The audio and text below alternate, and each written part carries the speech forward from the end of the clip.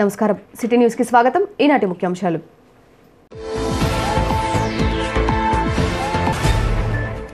ముఖ్యమంత్రి పట్ల అనుచిత వ్యాఖ్యలు చేసిన టీడీపీ నేతలు క్షమాపణలు చెప్పాలని డిమాండ్ చేసిన ఎమ్మెల్యే బొల్లా బ్రహ్మనాయుడు ముగిసిన జనాగ్రహ దీక్ష.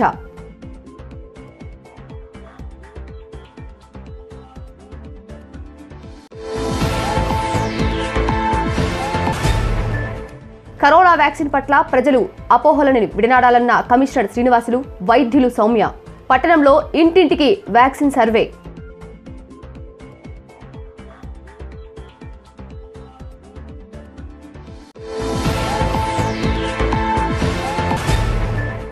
ఈ నెల ఇరవై ఐదున వినుకొండకు రానున్న మంత్రులు పలు అభివృద్ధి కార్యక్రమాలకు శంకుస్థాపన.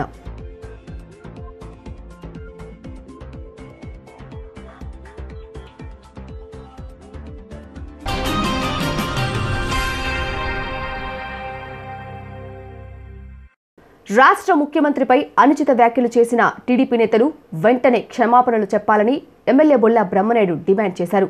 వినుకొండ పట్టణంలోని శివయ్య స్తూపం వద్ద రెండో రోజు జనాగ్రహ దీక్షలో ఎమ్మెల్యే పాల్గొన్నారు. టీడీపీ నేతలు చేసిన వ్యాఖ్యల పట్ల రాష్ట్ర ప్రజలు ఆగ్రహంతో ఉన్నారన్నారు. వెంటనే క్షమాపణలు చెప్పాలని డిమాండ్ చేశారు. రాష్ట్ర ప్రజల నుండి ఇంత స్పందన వస్తుందని టీడీపీ నేతలు ఊహించలేదన్నారు. ప్రజలు వైసీపీ పక్షాన ఉన్నారన్నారు. పట్టాభిని అతను నోటి గుండా వస్తున్నటువంటి మాటలు అన్నీ కూడా చంద్రబాబు మాట్లాడినటువంటి మాట్లాడించినటువంటి మాటలే. అది మన అయ్యన్న పాత్రుడు కూడా ఎంత అన్యాయంగా ఎంత దుర్మార్గంగా అంత ఎక్స్పీరియన్స్ ఉన్నటువంటి ఆయనే ఆ విధంగా మాట్లాడితే నిజంగా ఈ రాజకీయాలు ఎలా తయారు చేస్తున్నారు ఎలా రాజకీయ ఇలువలు తగ్గిస్తున్నారు చంద్రబాబు నాయుడు గారు అంత పెద్ద వయసులో ఈ రా ఈరోజు అలా ఇలువులు కనీసం కూడా గుర్తించకుండా ఆయన ఏ విధంగా అల్లర్లు చేయాలి ఏ విధంగా రాష్ట్రాన్ని డిస్టర్బ్ చేయాలి ఏ విధంగా రాష్ట్ర ప్రజల్ని అభద్రతా భావంగా ఏర్పాటు చేయాలి వాళ్ళందరూ ఆలోచనల్ని మార్చాలి వాళ్ళందరూ కూడా చంద్రబాబు నాయుడు గారు బాగా చేశాడని అనిపించాలంటే ఎలా సాధ్యపడట్లేదు? అల్లర్ల ద్వారా పూర్తి స్థాయిలో ఈ రాష్ట్రాన్ని గొడవల ద్వారా నా సొంతం చేసుకోవాలని ఆలోచన ఒక కుటిల రాజకీయమైనటువంటి ఆలోచన చేస్తున్న చంద్రబాబు నాయుడు గారికి ప్రజలు ఇలా స్పందిస్తారని ఆయనకి అర్థం కాక ప్రజలు ఎలా స్పందిస్తున్నారంటే ఈరోజు మా ముఖ్యమంత్రి గారు మా అన్న మా తండ్రి లాంటి వాడు మా మామ లాంటి వాడు మా కుటుంబం పాలిట మా కుటుంబ సభ్యుడు మా కుటుంబంలో పెద్ద దిక్కు.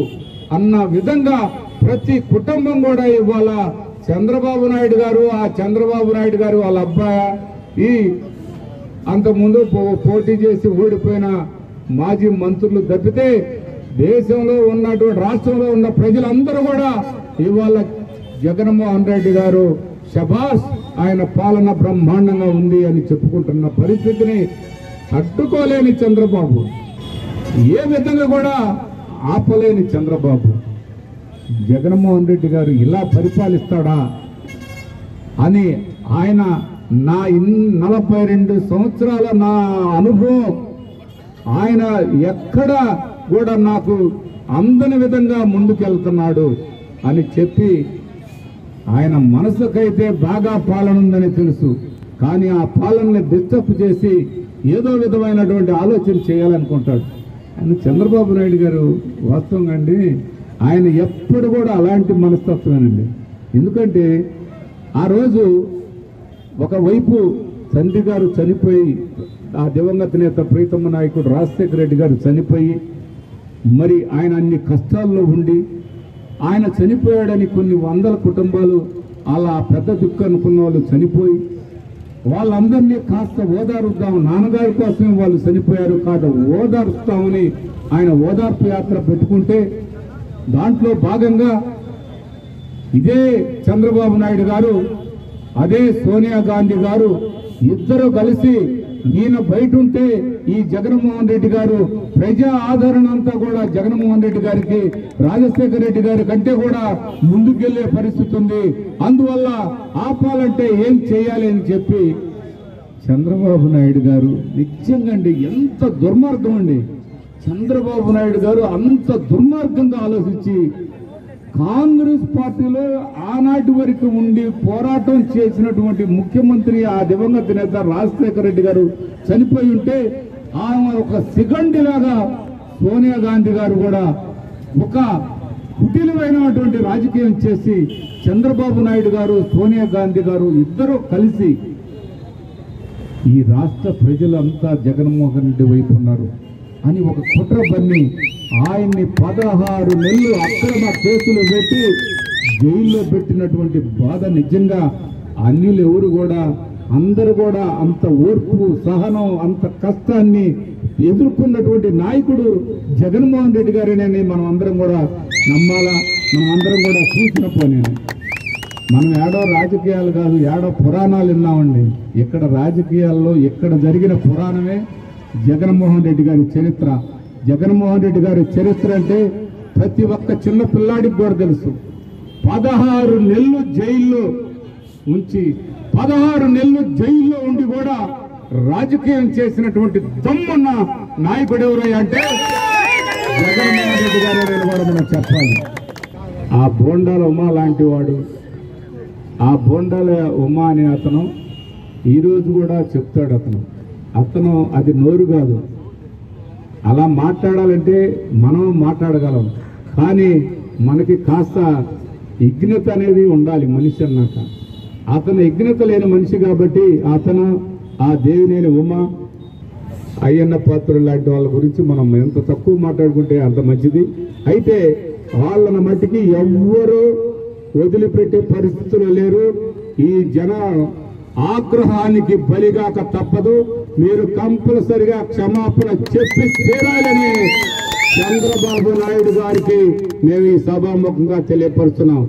జాతీయ న్యాయ సేవ వారోత్సవాల్లో భాగంగా వినుకొండ మండల legal service authority chairman Vinukonda junior civil judge Taushith Hussain ఆదేశాలతో వినుకొండ పట్టణంలోని జిల్లా పరిషత్ బాలికల ఉన్నత పాఠశాల నందు బార్ అసోసియేషన్ అధ్యక్షులు భానుతేజ అధ్యక్షతన న్యాయ విజ్ఞాన సదస్సు నిర్వహించారు.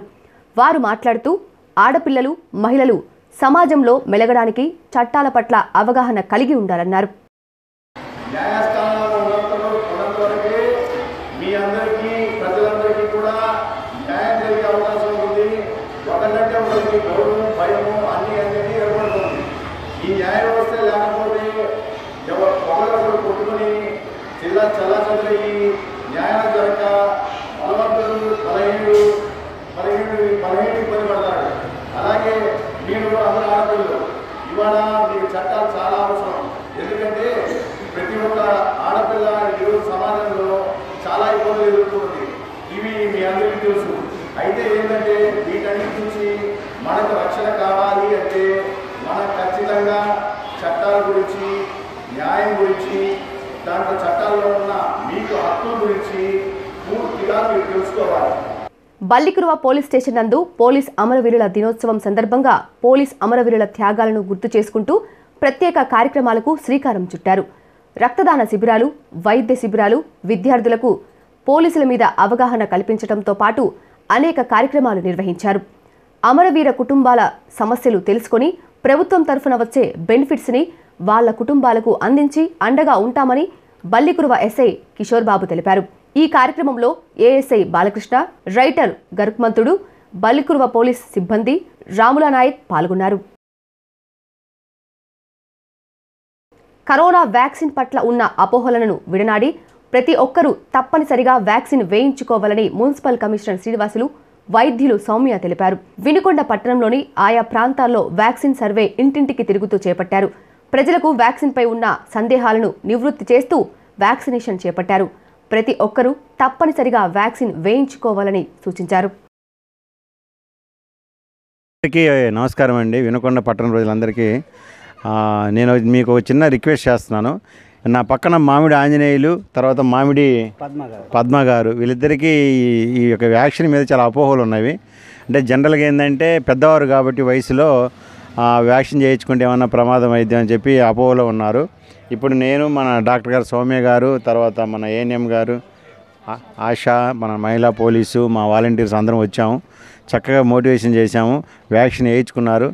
చాలా ఆనందంగా కూడా ఉన్నారు ఆయన ధైర్యంగా ఉన్నారు. అందరికి కూడా ఇప్పుడు ఆయన చెప్తున్నాడు వ్యాక్సిన్ వేయించుకోండి. మాకు కొన్ని తెలియక అపోహలో ఉన్నాము. మేము ఇప్పుడు వ్యాక్సిన్ వేయించుకున్నాము అని చెప్పి చెప్ ధైర్యంగా చెబుతున్నాడు మామిడి ఆంజనేయులు గారు. ఈయన టిఫిన్ హోటల్ నడుపుతున్నాడు చక్కగా జీవిస్తున్నాడు. మీ వయసు అండి? అరవై. అరవై సంవత్సరాలు ఇన్నాళ్ళు కూడా భయంతో వేయించుకోలేదు వాళ్ళ కమిషనర్గా కమిషనర్ వచ్చి ఆయన కొన్ని మాటలు చెబితే చక్కగా విన్నాడు వేయించుకున్నాడు నేనేమంటున్నానంటే వినకొండ టౌన్లో చాలామందికి చాలా చాలా అపోహలు ఉన్నవి. వాళ్ళందరూ కూడా ఆ అపోహలు వేయడండి మనకు కొన్ని మూఢనమ్మకాలు మనకు సనాతనంగా మనం మనకు వచ్చినాయి. ఒక చిన్న ఎగ్జాంపుల్ చెప్తాను. మనకు ఏదైనా గాయం తగిలితే చీమ్ పోసుద్దని చెప్పి మజ్జిగ తాగము పెరుగు తినము పెసలు తినము పప్పు తినము ఇవన్నీ తినము కానీ వాస్తవం ఏంటంటే అది శుభ్రంగా లేకపోతే ఇన్ఫెక్షన్ అయి చీంపోస్తుంది ఏదైతే పప్పు దినుసులు పెసలు బాగా తింటే ప్రోటీన్స్ ఎక్కువయ్యి త్వరగా కండబట్టి నయమైద్ది గాయము. కానీ మనం మనం ఏమనుకుంటున్నాం పల్లెటూర్లలో కానీ మన టౌన్లో కానీ చాలామంది ఏమనుకుంటున్నారు?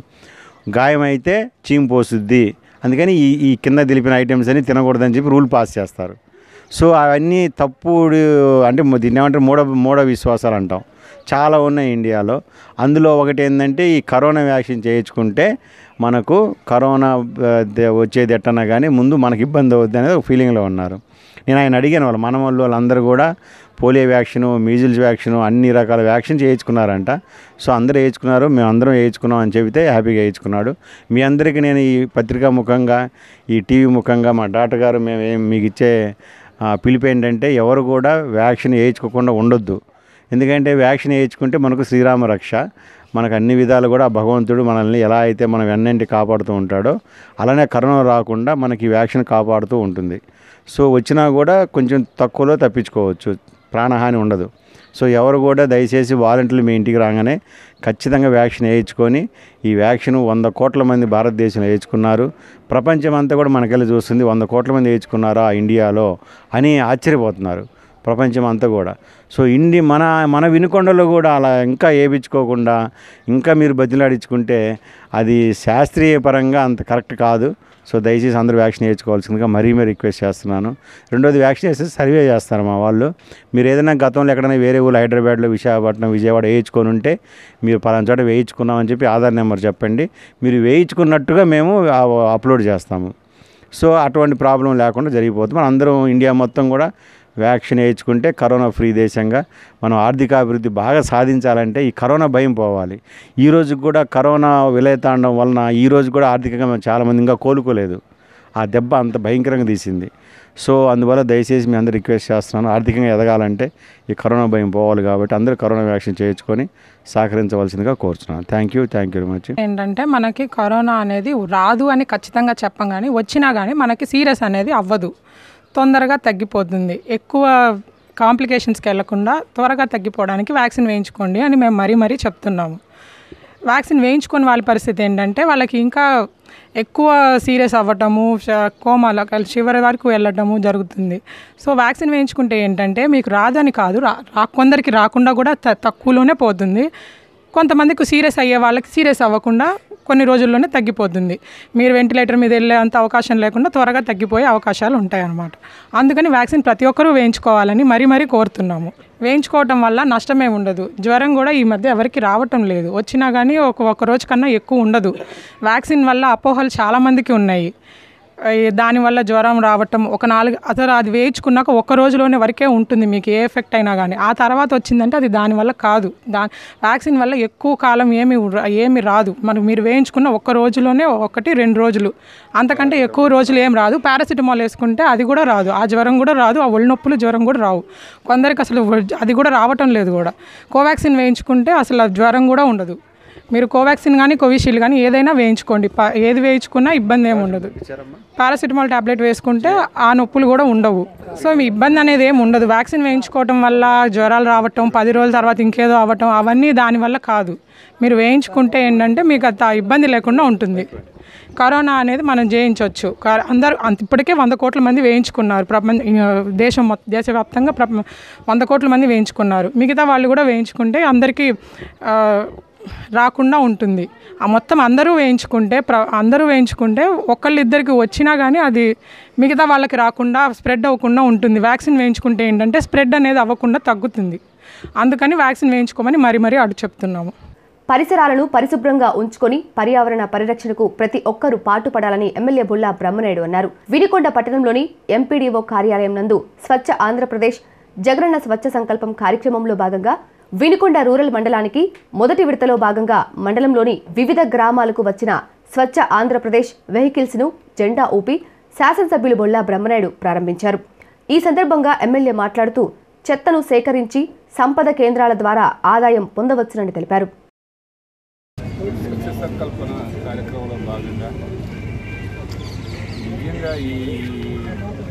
గ్రామాలన్నీ కూడా ఎక్కడ కూడా ఈ కాలుష్యం బారిన పడకుండా ప్రజలు దాన్ని నిర నియంత్రించే కార్యక్రమంలో భాగంగా ఈ వెహికల్స్ని ఏర్పాటు చేయడం జరిగింది. మరి ఇందులో కూడా తడి చెత్త పొడి చెత్త ఇవన్నీ కూడా విభజించి క్రియేటివ్ వాటిని చేసి దీన్ని మన ఒక ఇండస్ట్రీ మాదిరిగా దానికి షెడ్ వేయటం అవన్నీ జరిగినాయి. దాంట్లో ఈ వర్మీ కాంపోస్ట్గా తయారు చేసి ఈ వర్మీ కాంపోస్టు మనం విక్రయించడం జరిగింది. అది పొలాలకు వేసుకునే దానికి చాలా ఎక్కువ ఉపయోగం దొరుకుతూ ఉంది. ఇప్పుడు పొలాలకు వేసుకునే ఈ ఎరువు మన ఇంట్లో మన గ- గేదెల కాడ ఎరువు ఎలా అంటుందో అంతకంటే పవర్ఫుల్గా ఉంటుంది. ఎక్కడ కూడా పొల్యూషన్కి సంబంధించింది కాకుండా ఎలాంటి ఇబ్బంది లేనిటువంటి ఎరువు ఈ వర్మి కాంపోస్ట్. దీన్ని తయారు చేసుకొని దీన్ని ద్వారా కొంత డబ్బు వస్తుంది. కొంత డబ్బు ప్రతి ఇంటికి రెండు రూపాయలు ఇవ్వాలి. కంపల్సరిగా ఆ రెండు రూపాయలు ఇచ్చిన దాంట్లో భాగంగా ఇవన్నీ కూడా దీని మెయింటెనెన్స్ ఇవన్నీ కూడా జరిగిపోతూ ఉంటాయి.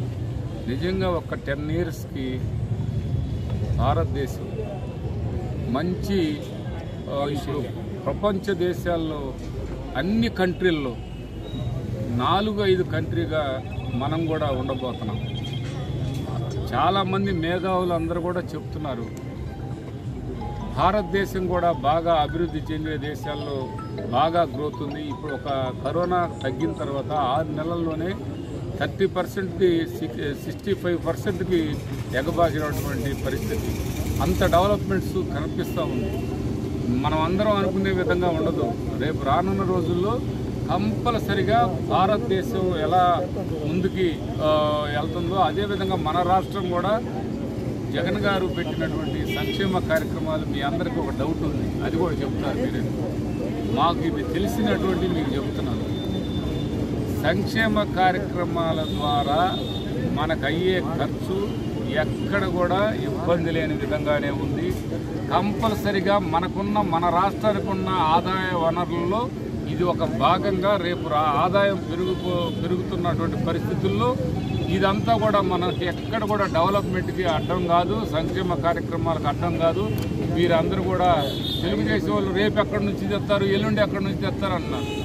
ఒక్కర స్టార్టింగ్లో కాస్త ఇబ్బంది అయిందే కానీ తర్వాత ఇవన్నీ కూడా అన్ని ఫండ్స్ కూడా ఫండ్స్ వనరులు కూడా పెరుగుతాయని సందర్భంగా తెలియపరచుకుంటూ వీటికి నిదర్శనం ఒక్క ఎంకుపాలెమే దానికి నిదర్శనం. ఇంకుపాలెం ఎంత ఫండ్స్ వస్తున్నాయో అడగండి. ఏది మన ఆదాయమే. ఇక్కడ ప్రెసిడెంట్ గారు ఉన్నారు. అలా ప్రతి పంచాయతీకి మంచి ఆదాయం వనరులు పెరుగుతాయి. బ్రహ్మాండంగా డెవలప్మెంట్ అయిందని ఈ సందర్భంగా తెలియపరచుకుంటూ ఇలా మాటలు చెప్పిన ప్రభుత్వాలు ఉన్నాయి. ఇలా అమలుపరిచిన ప్రభుత్వమే ఈ వైఎస్ఆర్ ప్రభుత్వం. ఈ గౌరవ ముఖ్యమంత్రి గారు జగన్మోహన్ రెడ్డి గారు అండి అందరికీ సందర్భంగా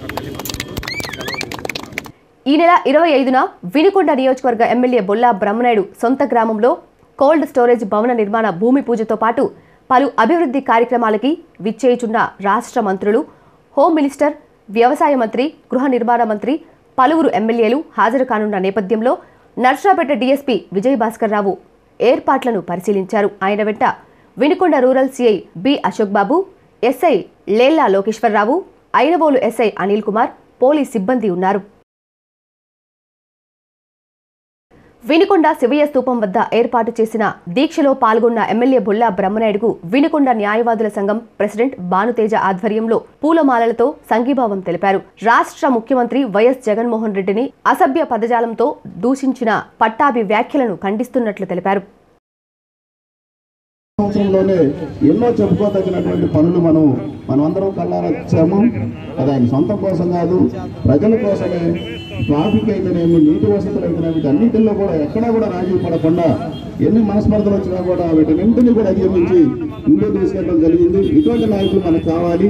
అదేవిధంగా గౌరవనీయ ముఖ్యమంత్రి జగన్మోహన్ రెడ్డి గారి సారథ్యంలో జరుగుతున్నటువంటి వీటన్నిటి పనుల్ని ఓరవలేని స్థితిలో నుంచి ఈ విధంగా రాష్ట్రాన్ని చిన్నాభిన్నం చేసే ఉద్దేశంతో ఎక్కడ పడితే ఏ విధంగా పడితే ఆ విధంగా మాటలు పదజాలాన్ని ఉపయోగించడం ద్వారా స్వచ్ఛమైనటువంటి శాంతియుతమైనటువంటి వాతావరణానికి భంగం కలిగే విధంగా ఏర్పాటు చేశారు. ఆ పరిస్థితుల్లో మనం ప్రజలందరూ ఆగ్రహించి ప్రజా ఆగ్రహించి ప్రారంభించవలసిన పరిస్థితి వచ్చింది. కాబట్టి మా నాయకుడు ఈ దీక్షను ప్రారంభించినందుకు మేము అందరం కూడా న్యాయవాదులు అందరం కూడా అభినందించి వాళ్ళందరికీ కూడా మేము ఆయన దీక్షను సఫలీకృతం చేయాలని చెప్పేసి మనసారా కోరుకుంటూ ఈ అవకాశం ఇచ్చిన నాకు ధన్యవాదాలు తెలియజేస్తున్నాను సిటీ న్యూస్ ఇంతటితో సమాప్తం. తిరిగి రేపటి సిటీ న్యూస్లో మళ్ళీ కలుద్దాం. అంతవరకు సెలవు. నమస్కారం.